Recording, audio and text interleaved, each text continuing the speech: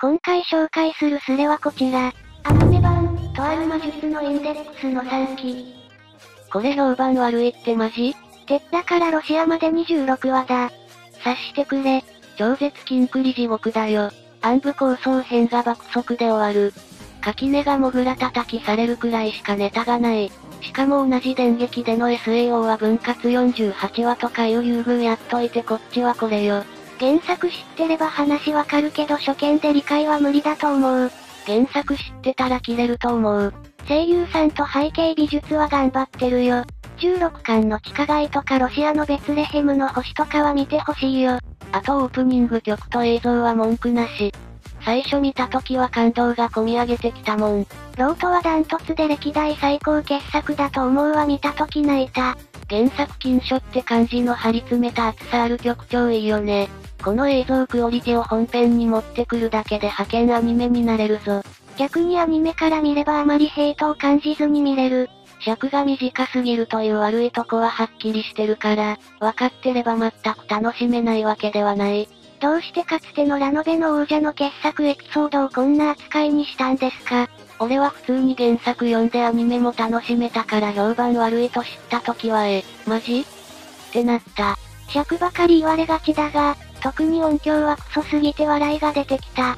ミコトの最大の見せ場で唯一の戦闘シーンカット。映像化したらレールガン3機最終戦の次くらいには派手な見せ場だったのに。3機のオファー出すの遅すぎで詰め込まないか3、4クール頼むべきだった電撃も悪い。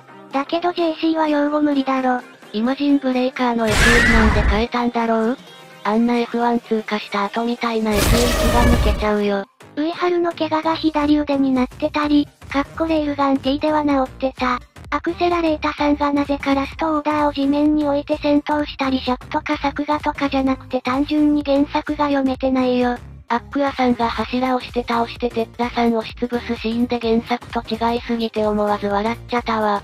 金書3機の出来の成果は知らんけど、結局レールガン3機はそこまで売れなかったし、露骨すぎて腹立つせいでレールガン買いたくなくなるんだよ。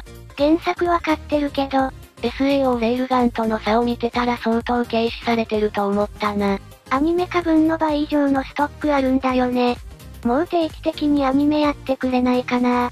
垣根をスペアプランじゃなくてセカンドプランって呼んでたのもアニメの不満点かな。アクセラレータのスペアが務まるってことこそ垣根のやばいところなんだし。声優さんたちが台本の内容を理解できてなくて、その説明を原作読んでる主人公役の安倍さんがやらなくちゃいけない状態だったのは相当問題だったと思うよ。スタッフさんで教えられる人いなかったの？情報のカットもあるがおそらく作画の省エネ化のせいでおかしくなってるシーンまであるからな。例えば基地で通信中のフィアンマを発見したシーンは原作では200人の敵がいて、制御霊装も見えずだから襲撃諦めて先にサーシャ確保して奇襲狙おうって流れ。それがアニメではフィアンマが一人で制御霊装で通信してるからどう見ても2対1で奇襲する最大のチャンスに。制御霊装をイマジンブレーカーか鋼の手袋で壊せば勝ち確なのに原作通りに退くという。おまけにここで情報全カットしてたサーシャの話をし出す。カット改変するのに調整せず辻褄の合わないまま進んで説明足りないシーンあるからそりゃわからんよ。アニメから入った J からすると、とあるをリアタイ視聴できて、3期はめちゃくちゃ嬉しかった。この作品を円盤で見てアニメ沼に落とされた身からすると、マジでリアタイできるなんて思ってなかったんだ。私的には内容を理解できたし、楽しめた。アニメから入った勢がいたならそれは良かったな。得点なければ買わなかったと断言できるレベル。でも新規さんがいるならなんか救われるわ。電撃にやる気がない。これに尽きる。なんならシリーズ構成の吉野博之はいや尺足りないからもっとくれよって訴えてた。それでももらえたのは1話くらいだけど、ラノベ会社ってどこもアニメ化やる気ないからな。アニプレが噛むとアニメを売るためにアニプレが頑張ってくれるんだけど、上条 VS フィアンマの足場誰もおかしいと思わなかったのか。殴った反動で元の位置に着地するのクソ面白かったわ。どう考えてもハイジャックとかいらなかったしイギリスまでにしてたらまだマシだったと思う。第三次世界大戦組み込むのはどう考えても無理がある。ハイジャックの話が一番脚本と作がいいのなぞ。そもそも2期で盛り上がってたのにその流れを自分から断ち切ったからな。働く魔王様もそうだけどせっかくアニメが人気出たのに熱が完全に冷めるまで放置するのなんなんですかねパチンコの演出のために無理やりフィアンマ戦までやった説もある。レールガン3期のためでしょ。これだけ長く続いてるシリーズなんだから新薬への導入として丁寧に作っておけば新規読者獲得できたんじゃね。熱心なファンが3期アニメを黒歴史化でアニメ見るぐらいなら原作読んでというレベルだぞ。もっと出来良ければひとまずアニメ見てそれで気に入ったら新薬も読んでみってできたのができなくなったの本当にバカ。単純に電撃が2期以降基本やる気ないせいだぞ。SAO くらい人気でないと本当に雑。金書でダメなら SAO くらい人気出るやつ他にないじゃん。実際何度か名前出てるけどとある F は金書メインにやってて、そう役までの実装されてるあたり金書パワーがないとも思えないんだよな。コラボもよくしてるけどそれだけじゃソシャゲは何年も続かないし、金書に情熱を燃やしてる人のお布施所にはなってそう。イフは運営に原作ファンがいて本当に良かった。金書3期で良かったところ、モグラ提督はともかく、アクセラレータの竜巻をかき消して垣根が衝撃波を放つ一連の空中戦はマジで作が良かったと思う。だからこそもう少し弱取って欲しかった。改めて見てもこの構図かっこよすぎるよな飛翔して構える第2位と平然と壁に立つ第1位。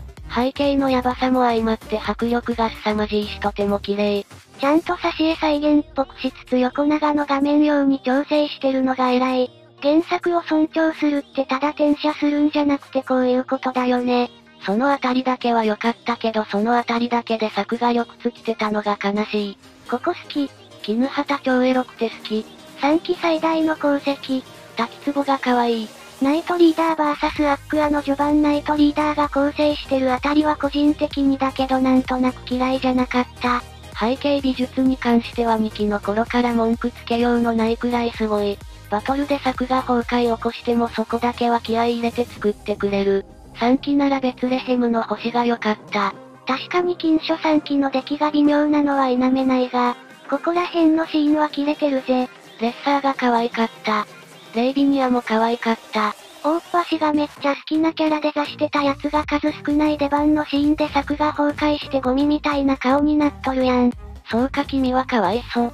予算と人員が足りなかったんだ悔しいだろうが仕方ないんだ。JC は確かにやるときはやるけど逆にやりきれないときはとことん不完全燃焼なんす。おまけには数も足りない。金書ってアニメに向いてないの？お言葉ですがこのスタッフにかかれば SAO だろうと劣等生だろうとクソゴミになりますよ。シンプルなアックアセンとかの出来があれな時点で、制作会社の問題だと思われる。今回の動画は以上です。ご視聴ありがとうございました。